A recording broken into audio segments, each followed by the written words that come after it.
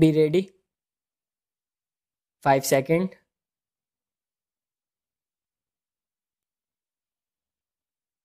Start. countering the said submissions of the learned counsel for the petitioner Sri Srivastav or the Medical Council of India relying on the averments made in the counter affidavit on behalf of the respondent numbers 3 and 4 contends that the fact of the experience certificate of 3 of the faculties was investigated by the council and was ultimately found to be contrary to what was represented by the petitioner institute. The same was considered by the central government along with the explanation submitted by the petitioner and the central government has rightly endorsed the view of the medical council for withdrawing the recommendations.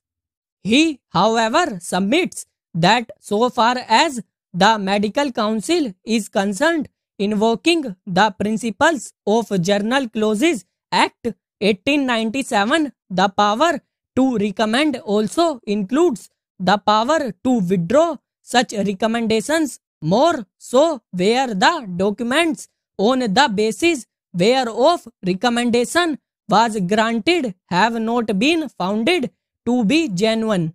He contends that in such a situation there was no occasion for granting any opportunity to the petitioner at the time of withdrawal of recommendations by the Medical Council of India.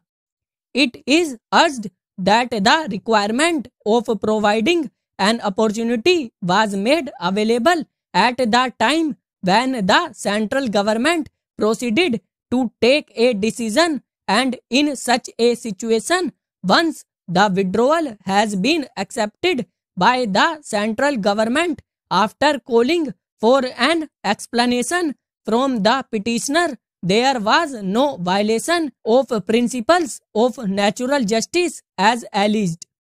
the withdrawal of the recommendations founded on legitimate grounds does not call for any interference. The full bench decision of the Delhi High Court in the case of Malla Reddy has been subjected to a challenge before the Supreme Court where notices have been issued and the matter is pending.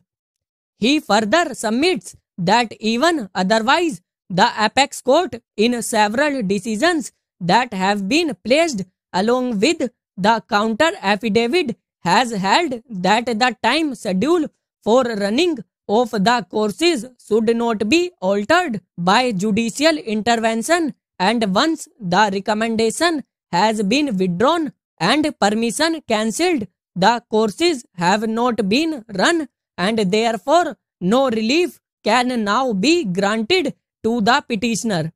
Sri Srivastav has further invited the attention of the court to the endorsement made on the declaration given by the institution which has been produced in paragraph 60 of the counter affidavit to contend that the endorsement is about the verification of the documents of the faculties and such endorsement has been found to be false. Therefore, the withdrawal was justified as the institute had colluded with the said faculties in trying to seek permission for running the courses on the strength of such ingenuine documents.